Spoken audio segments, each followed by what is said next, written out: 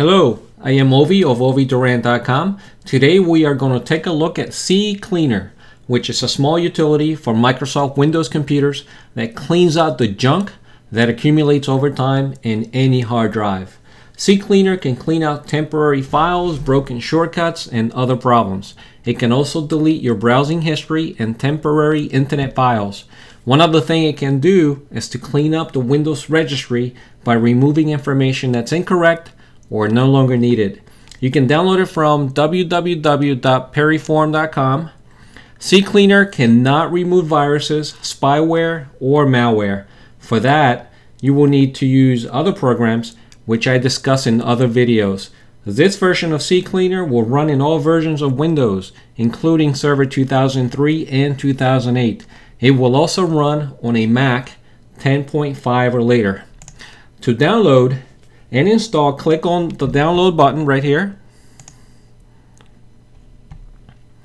Look for the free version and click on download again.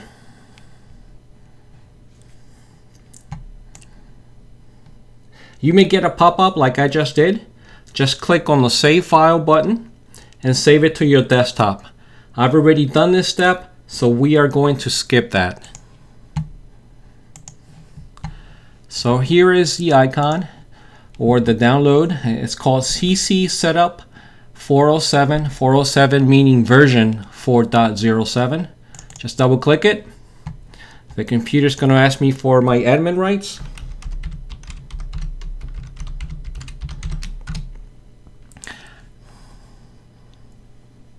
By the way, I never log, in, log into a computer uh, using admin credentials. And I'm logged in right now as a uh, regular user. So click on next.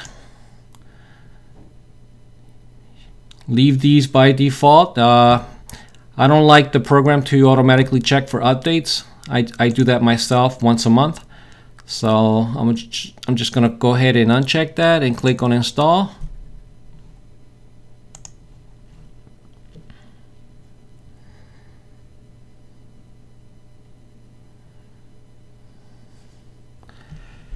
Going to take uh, maybe 30, 35 seconds to install. It's really quick.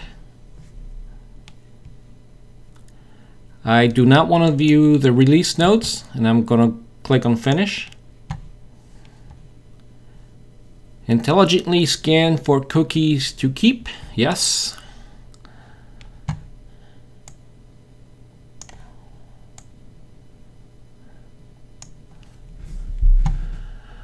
All right, C cleaner. By default, it checks all of these uh, boxes. But I'm gonna go ahead and unclick cookies. I like to keep my cookies.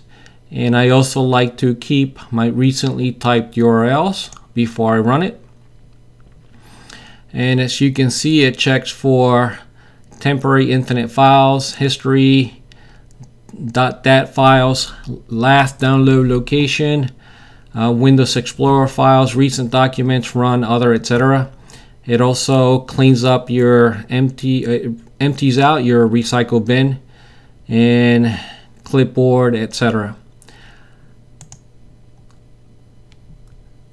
This is the uh, registry registry tool. We're going to run that later. Uh, tools. It has some uh, you can uninstall any program currently installed in your computer by just clicking on the program and by clicking here where it says run uninstaller. Startup, these are all of your startup files. When your computer boots up, all of these programs are running. You can just select one. You can click on disable or delete. I do not recommend this. You do anything with this section unless you know what you're doing. File Finder, System Restore. I should have two or three restore points for my computer, and there they are. There, there's two of them. I can delete or remove as I as I wish, but I'm just I like to have two restore points at all times. Drive Wiper. Um, you want to clean out your disk, wipe your drive entirely.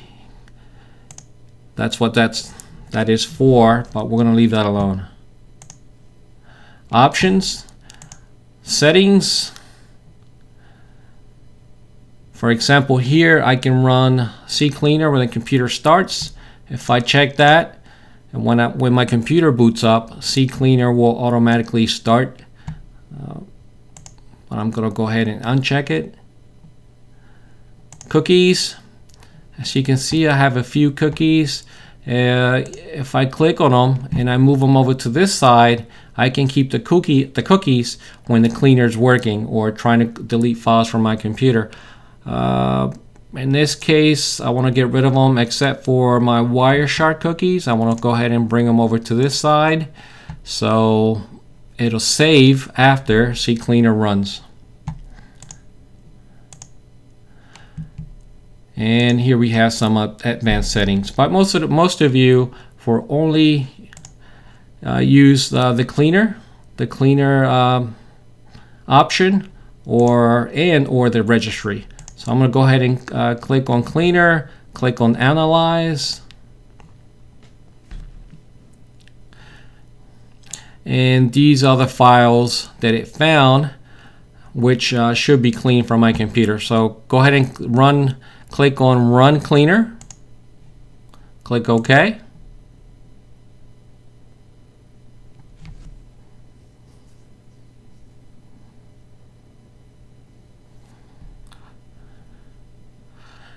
and it removed 28.3 megabytes. Let's analyze one more time just to make sure that it did wipe them all, and it did. Now we're going to go to registry, and I'm going to go uh, click scan for issues.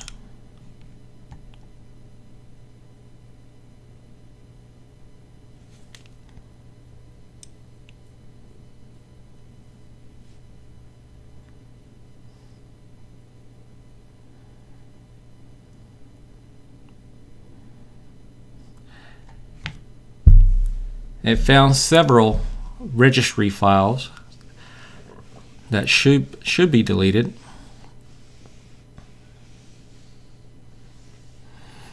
Then click on Fix Selected Issues. Now it's asking if I want to back up any changes to the registry. You should always say yes and back it up to to your documents folder, your desktop, wherever. So I'm going to go ahead and save them to my documents library folder and then you can either uh, select fix an issue or fix all selected issues. And there we are. It deleted every one of them and there you have it. Well I hope you liked this video. Again, I am Ovi Duran, and if you found this video useful, please click on the subscribe button below. Thanks for watching.